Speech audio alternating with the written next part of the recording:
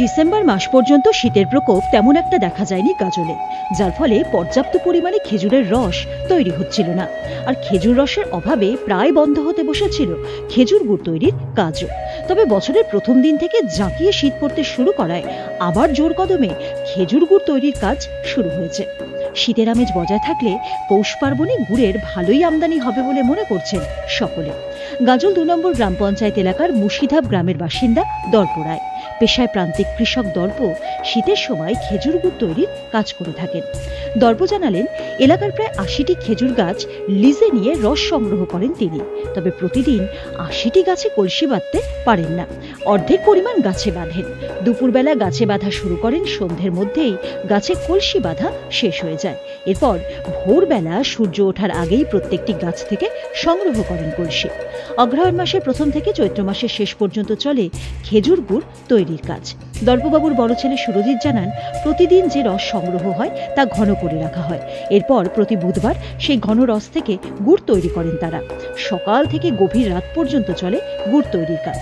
তবে এই কাজ করতে গিয়ে যে পরিমাণ শ্রম দিতে হয়, তার তুলনায় লাভের অংশ অনেকটাই কম। তবুও এই কাজ করে বছরে কয়েক মাসের সংসার খরচ তো উঠেই আসে।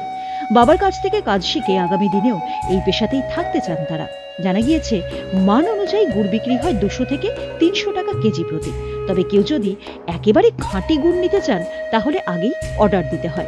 পাঁচশো টাকা কেজির নিচে সেই গুড় বিক্রি করলে তেমন একটা লাভ থাকে না। মহারাষ্ট্র, কর্ণাটক থেকে শুরু করে দেশের বিভিন্ন প্রান্তে চলে যায় এই গুড়। এছাড়াও জেলার বিভিন্ন প্রান্ত থেকে পাইকাররা এসে গুড় সংগ্রহ করে নিয়ে যান। বছরের শেষে ঠিকভাবে শীত না পড়ায় তেমনভাবে গুড় তৈরি হচ্ছিল না। তবে নতুন বছরের শুরুতে শীত জাঁকিয়ে পড়তেই গুড় তৈরির কাজ শুরু হয়েছে তুমুল ব্যস্ততায়। প্রথমে শিখেছি আমার মেজদার কাছে আচ্ছা কত বছর আগে? তাও বহুদিন আগে। আচ্ছা। তাও পঞ্চাশ বছর আগে হুম। কম করে। আচ্ছা। এখন গাছ লাগাচ্ছি আশি পঁচাশি পঁচাশি টাকা গাছ লাগাচ্ছেন।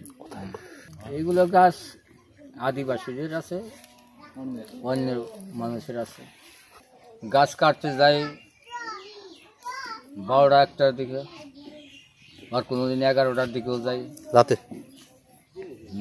দিনে? দিনে। তারপর? ভোর ছয়টার দিকে নামাইতে যেতে হয়। মোটামুটি অগ্রাণ মাসে তো শুরু হয়। হুম। গাছ ছেলা হয় কার্তিক মাসে থেকে। আর রস হয় অগ্রাণ মাসের প্রথম থেকে হয়। আর চৈত্রি মাস ভর থাকে। গাছ ঠিকঠাক হতো না। গাছ গাছ শুকাই যেত। গাছে ফেনা হয়ে যেত। রস হতো না। মোটামুটি ধরেন আশিটা গাছে তো একদিন হয় না? ওরে হাফ করা লাগে। হাফ করে দুই পালি বা তিন পালিও করা লাগে। তো রোজ বানাই না গুড়টা গুড়টা ওই সপ্তাহ ভরে কাটে ওই বুধবার করে বানাই। খাটনি হিসেবে তো সেইভাবে কিছু হয় না। খাটনি হিসেবে পয়সা নাই। আমাদের এই গুড় যায় ধরেন এই পোনাও যায় আবার বম্বও কিছু নিয়ে যায় মানুষের ওই দুই চার পাঁচ কেজি করে চাঁচল থেকে পাইকার আসে। হরিচন্দ্রপুর থেকে আসে এগুলা পাইকারকে দিতে হয়। পিওর করতে গেলে মোটামুটি ছয়শো টাকা। কিলো? কিলো।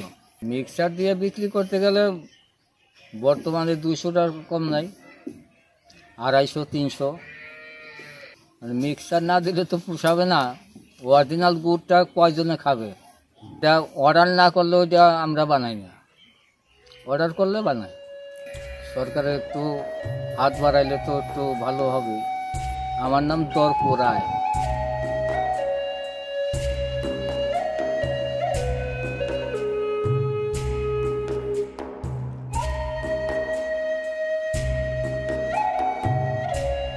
গাজল থেকে পঙ্কজ ঘোষের সঙ্গে গৌতম দাসের রিপোর্ট উত্তরবঙ্গ সংবাদ।